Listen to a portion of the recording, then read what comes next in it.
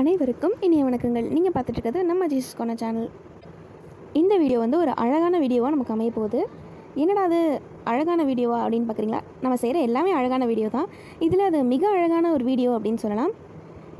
வீடியோக்கு போகிறதுக்கு முன்னாடி நம்ம சேனலை ஃபர்ஸ்ட் டைம் பார்க்குறீங்க அப்படின்னா நம்ம சேனலை சப்ஸ்கிரைப் பண்ணிடுங்க. மறக்காம பெல் பட்டனை டிங் எடுத்துருங்க அப்போ தான் நம்ம புது வீடியோ போட்டோன்னா உங்கள் உங்களுக்கு நோட்டிஃபிகேஷன்ஸ் வரும்.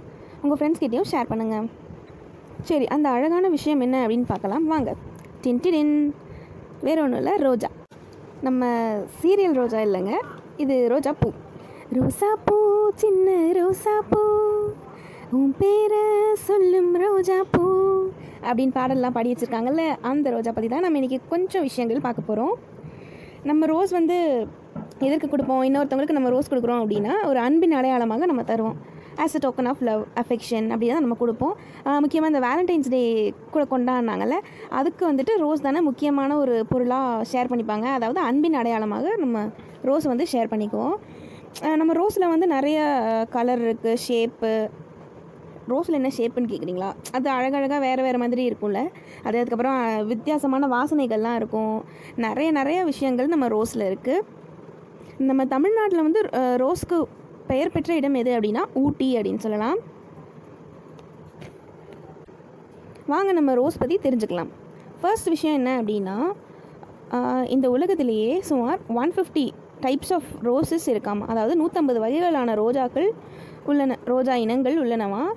அதுக்கப்புறம் இது எல்லாத்தையும் வந்து கொஞ்சம் கொஞ்சமாக நம்ம கலப்பினம் செஞ்சு தான் நிறைய நிறைய பல ஆயிரம் ரோஜாக்களை வந்து உருவாக்கியிருக்காங்க அப்படின்னு சொல்கிறாங்க இதை பற்றின இரண்டாவது விஷயம் என்ன அப்படின்னா அமெரிக்காவில் இருக்கிற கலிஃபோர்னியா அப்படின்ற இடம் இருக்குல்ல அங்கே இருக்கிற ஒருத்தவங்க என்ன பண்ணியிருக்காங்களாமா ரோஜா செடியை வந்து ரொம்ப பெருசாக வளர்க்க ட்ரை பண்ணியிருந்திருக்காங்க. அவங்களுடைய முயற்சி வந்து வீண் போகலை. அவங்களோட ரோஸ் வந்து ரொம்பவே பெருசாக வளர்ந்துருக்கு. எவ்வளோன்னு பார்க்குறீங்களா? அது வந்து ஒரு முப்பத்தி மூணு அங்குல குறுக்களவு கொண்ட மிகப்பெரிய ரோஜா பூவாக வந்து அது மலர்ந்துருக்கு. இது வரைக்கும் பூத்ததுலேயே இந்த பூ தான் வந்து ரொம்ப பெரிய பூவாக வந்து கருதப்பட்டுருக்கு அண்ட் நம்ம பார்க்க போகிற தேர்ட் விஷயம் என்ன அப்படின்னா இது வந்து நிறைய பேருக்கு தெரியுமான்னு தெரியல. எனக்கே இப்போ தான் தெரிஞ்சிச்சு. என்னென்னா மற்ற மலர்களைப் போலவே வந்து ரோஸ் ரோஸ் இருக்குல்ல ரோஸும் வந்துட்டு காய் காயாகி அதுக்கப்புறம் கனியாகவும் மாறுமாமா. ரோஜா இருக்குல்ல அதோட கனி எப்படி கூப்பிட்றாங்க அப்படின்னா அதாவது ரோஜாவோட பழத்தை எப்படி கூப்பிட்றாங்கன்னா ரோஸ் ஹிப் அப்படின்னு கூப்பிட்றாங்களாமா. இதை நம்ம பார்க்குறப்போ மாதுளை பழம் இருக்குல்ல மாதுளை பழம் எப்படி மாதுளை காயாக இருக்கும் போது எப்படி இருக்கும்? அந்த மாதிரி தான் இது இருக்கும். பா பெர்ரி இருக்குல்ல பெரின்னு சொல்லுவோம்ல அந்த சைஸில் தான் இருக்கும். ஆனால் இது வந்து மாதுளை காய் போல் இருக்குமாம்மா மோஸ்ட்டாகவே இது வந்து ரெட் கலரில் தான் இருக்கும். சில இடத்துல மட்டும்தான் இது பிளாக் கலர் அதுக்கப்புறம் ப்ளூ கலர்லலாம் இந்த ரோஸ் பழம் இருக்கும் அப்படின்னு சொல்கிறாங்க இந்த ரோஜா கனிகள் இருக்குல்ல இதில் வந்து வைட்டமின் சி வந்து அவ்வளோ இருக்காமா? இது வந்து கொஞ்சம் சோர் டேஸ்ட் அதாவது புளிப்பு சுவை கொண்டது. இந்த ரோஸ் ஃப்ரூட் இருக்குல்ல இந்த ரோஜா பழத்தை கொண்டு வந்து நம்ம என்னென்னலாம் செய்யலாம் அப்படின்னா ஜாமு ஜெல்லி இதெல்லாமே செய்யலாமா? இது வந்து சில சில இடத்துல வந்து எப்படி யூஸ் பண்ணியிருக்காங்கன்னா மருத்துவ குணங்களுக்காகவும் இதை யூஸ் பண்ணுறாங்களாமா இதிலேருந்து மருந்து தயாரித்து எதற்கெல்லாம் இது உதவுமோ அதுக்கு எல்லாமே யூஸ் பண்ணியிருக்காங்க அடுத்தது ஃபோர்த் ஒன் இப்போ எல்லாமே இப்போ ஒரு திருமண வீடு இல்லை ஏதோ ஒரு விசேஷம் வீடு அப்படின்னாலே அங்கே வந்து நம்ம அலங்காரம் செய்வோம்ல மலர் அலங்காரம் செய்கிறாங்கல்ல அதில் இந்த ரோஜாக்களை கொண்டு முதல் முதலில் அலங்காரம் செஞ்ச பெருமை யாருக்கு அப்படின்னா ரோமன்ஸ். அதாவது இந்த ரோமில் வாழ்ந்த மக்கள் இருக்காங்கள ரோமானியர்கள். அவங்களே தான் சேருவாமா இந்த பெருமை.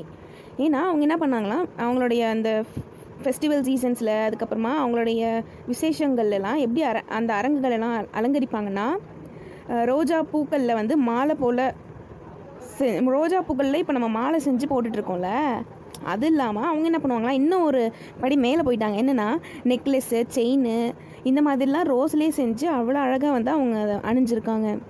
இதை வந்து எப்படி அவங்க கூப்பிடுறாங்க அப்படின்னா அழைக்கிறாங்கன்னா ரோமன் சர்க்கிள்ஸ் அப்படின்னு சொல்லி அழைச்சிருக்காங்க. அடுத்த ஃபிஃப்த்து விஷயம் என்ன அப்படின்னா கருப்பு ரோஜாக்கள் நம்ம கேள்விப்பட்டிருக்கோமா? இருக்குன்னு சொல்கிறாங்க ரோஸ் வந்து நமக்கு நிறைய நிறைய கலர்ஸ்லலாம் இருக்குல்ல.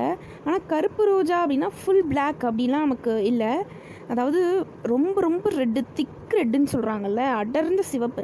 இந்த அடர்ந்த சிவப்பு கலர் இப்போது நம்ம ஒரு மரூன் கலர்னு வச்சுக்கோங்களேன் இப்போ நம்ம ஒரு மரூன் கலர் ட்ரெஸ் எடுத்தோம்னாலே அந்த ட்ரெஸ்ஸில் வந்து எப்படி ஒரு ஒரு லைட்டாக ஒரு பிளாக் கலர் மாதிரி இருக்கும்ல அதே மாதிரி தான் இந்த அடர்ந்த சிவப்பு வண்ண ரோஜாக்கள் இருக்குல்ல இதை தான் வந்து பிளாக் ரோஸ் அப் அதாவது கருப்பு ரோஜா அப்படின்ட்டு சொல்லுவாங்களாமா. துருக்கியில் தான் இது ரொம்ப இருக்கும் அப்படின்னு சொல்கிறாங்க அதனாலே பிளாக் ரோஸ் ஆஃப் துருக்கி அப்படின்னு சொல்லிட்டு ஒரு ஃப்ரேஸ் கூட இருக்குது அப்படின்னு சொல்கிறாங்க அடுத்த விஷயம் என்ன அப்படின்னா நம்ம வந்து பெரிய ரோஸ் பார்த்தோம்ல இங்கே வந்து இன்னொருத்தவங்க என்ன பண்ணியிருந்துருக்காங்களாமா ரோஸ் செடியவே ரொம்ப ஹைட்டாக வளர்த்துருந்துருக்காங்க.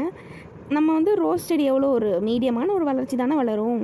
ஆனால் சில நேரத்தில் அது எவ்வளோக்கு வளருமா இருபத்தி மூணு அடி வளருமா அதாவது செவன் மீட்டர்ஸ் உயரம் வளருமாமா அப்படி ஒரு செடி வளர்ந்துருக்கு. அதுதான் இது வரைக்குமே வரலாற்றில் இடம் இடம்பெற்றிருக்கு. அண்ட் நெக்ஸ்ட் விஷயம் என்ன அப்படின்னா ரோஸ் கார்டன் அதாவது ரோஜா வனம். பல வகை ரோஜாக்கள்லாம் நம்ம பார்த்துருப்போம். அந்த பல வகை ரோஜாக்களை வந்து ஒரு ஊரில் கார்டனாகவே வச்சு பராமரிச்சுட்டு வந்துட்டுருக்காங்க அந்த என் என்ன ஊர் அது என்ன இடம் அப்படின்னா இட்டாலி. இட்டாலியில் இருக்கிற கவ்ரிக்லியா அப்படின்னு சொல்லிட்டு ஒரு ரோஜா தோட்டம். அதை நம்ம சொன்ன மாதிரி இட்டாலியில் வந்து அது இருக்குது இங்கே எவ்வளோ இருக்குதுன்னு கேட்டால் ஒரே ஆச்சரியமாக இருக்கும். எவ்வளோ ரோஸ் தெரியுமா இங்கே இருக்கான் ஏழாயிரத்தி ஐநூறு விதமான ரோஸ்கள்லாம் இங்கே வளர்த்துட்ருக்காங்களாமா. வாவ் செம்மலை. நம்ம மக்கள் வந்து எதுலேயுமே ஒரு ஆராய்ச்சி செய்வாங்கள்ல அது மாதிரி நம்ம ரோஸ் செடியையும் வச்சு ஒரு ஆராய்ச்சி செஞ்சுருக்காங்க. அது என்ன அப்படின்னா டூ தௌசண்ட் டூ ஆண்டு இருக்குல்ல அதாவது இரண்டாயிரத்தி இரண்டாம் ஆண்டு இருக்குல்ல அப்போ வந்து ஒரு சின்ன ரோஜா செடி ஒரு சிறிதாக்கப்பட்ட ஒரு ரோஜா செடியை ஸ்பேஸ்க்கு கொண்டு போய் இருந்திருக்காங்க அதாவது விண்வெளி மையத்துக்கு கொண்டு போய் அதுக்கு பேர் வந்து என்ன அந்த இதுக்கு வச்சுருக்காங்க அப்படின்னா ஓவர் நைட் சென்சேஷன் அப்படின்னு சொல்லிட்டு அந்த செடியை வந்து சொல்லியிருக்காங்க கூப்பிட்ருக்காங்க அண்ட் அங்கே போய் விண்வெளியில் வந்து எப்பயுமே கிராவிடேஷனல் ஃபோர்ஸ் இருக்காதுல்ல அந்த நிலையில் அந்த செடி என்ன ஆகுது அப்படின்னு அவங்க பார்க்குறதுக்காக அவங்க கொண்டு போய் சோதனைக்காக இந்த ரோஸ் செடியை எடுத்துகிட்டு போயிருக்காங்க. நெக்ஸ்ட் விஷயம் என்ன அப்படின்னா நம்ம மிகப்பெரிய பூ பார்த்துட்டோம் மிகப்பெரிய செடி பார்த்துட்டோம் அதாவது ரோஸ் செடி பார்த்துட்டோம். இப்போ நம்ம என்ன பார்க்க போகிறோம்னா விலை உயர்ந்த ரோஜா பார்க்க போகிறோம் இந்த உலக புகழ்பெற்ற இந்த ரோஜா வளர்ப்பாளர் வளர்ப்பாளர் அப்படின்னு ஒருத்தர் இருக்கார். அவர் யாரும் வேறு யாரும் இல்லை. டேவிட் ஆஸ்டின் அப்படின்னு ஒருத்தர். அவர் என்ன பண்ணுறாராம்மா நிறைய நிறைய டைப்ஸ் ஆஃப் ரோஸ் வந்து வளர்க்குறாராம்மா அவர் என்ன பண்ணியிருக்காரு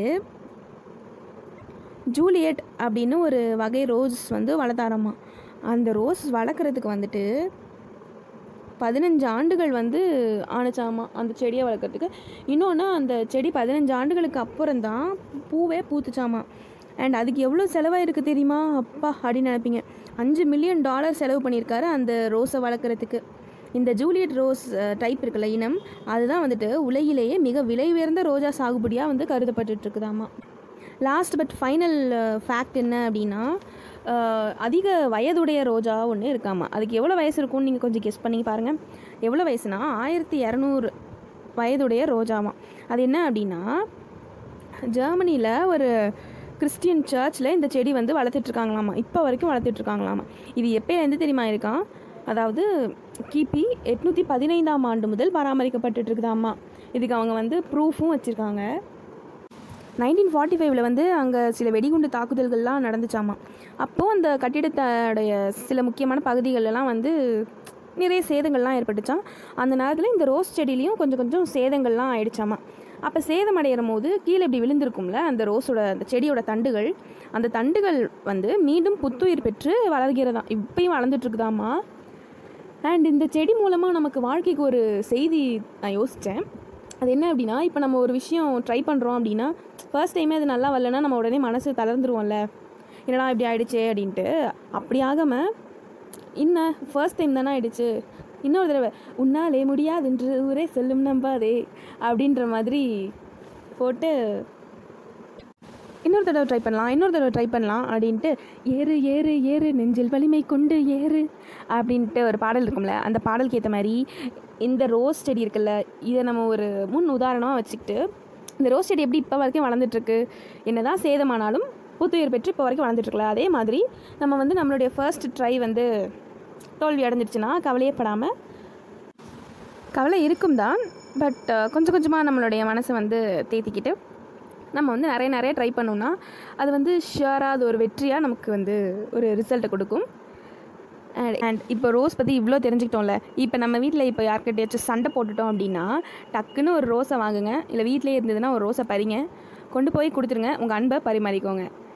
அண்ட் இந்த வீடியோ உங்களுக்கு பிடிச்சி பிடிச்சிருந்துச்சு அப்படின்னா லைக் பண்ணுங்கள் கமெண்ட் பண்ணுங்கள் உங்கள் ஃப்ரெண்ட்ஸ்கிட்டையும் ஷேர் பண்ணுங்கள் அடுத்த வீடியோ சந்திப்போம். நன்றி வணக்கம். Bye take care